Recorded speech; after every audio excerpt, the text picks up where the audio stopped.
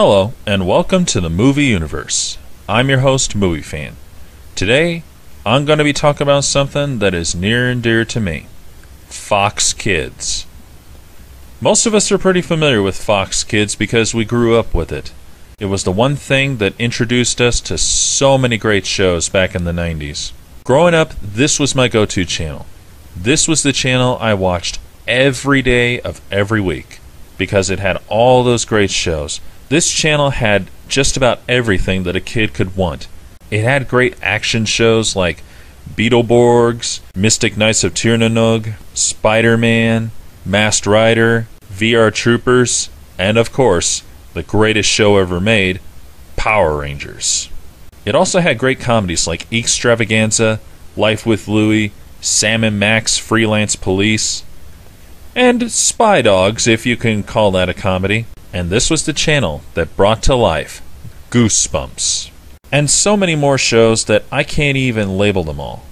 It had so many great shows that you could just go nuts watching all this. It was a great lineup that I'll never forget. Seems like it was only yesterday that I was watching it. I'll tell you, just thinking about it right now is bringing back all the memories.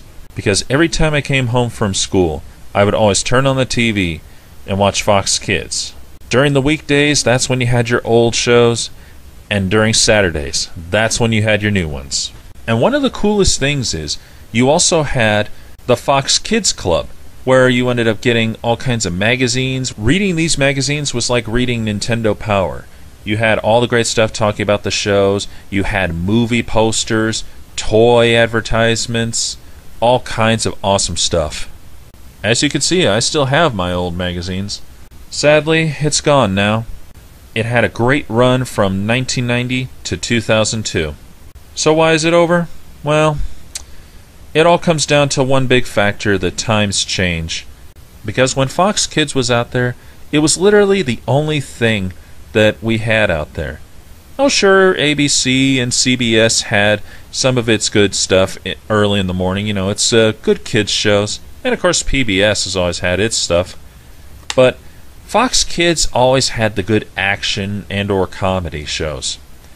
And didn't focus too much on uh, learning stuff, which was always a refreshing thing for all us kids, you know. But then a little channel called the WB showed up and it started getting all kinds of shows like Pokemon and all that stuff.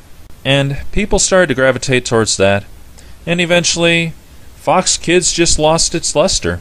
It even joined with the WB for a little while during its final years. At least that's what I thought back then. However, quite recently I learned that there was another reason why Fox Kids pretty much went off the air. When I went to a local Comic Con and met Teresa Cassidy, who was the host of my local Fox Kids network, she actually said that the main reason that Fox Kids pretty much went down the tube was because of Cartoon Network and Nickelodeon. And now I think about it, it makes perfect sense because Cartoon Network and Nickelodeon, they were around for a little while back in the mid and late 90s.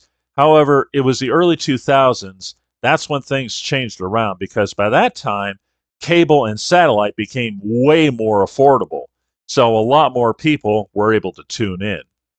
And when that happened, people were sadly shifting right over to Nickelodeon and Cartoon Network. So now it's gone, and nothing will ever bring it back. However, I'm not too upset about it. I had a great time with it, and I still got the memories. The only thing that makes me sad is all the kids these days will never see this. Sure, they got their own channels, but there's really no comparison. Who knows? Maybe one day someone will bring it back. This is Movie Fan, signing off.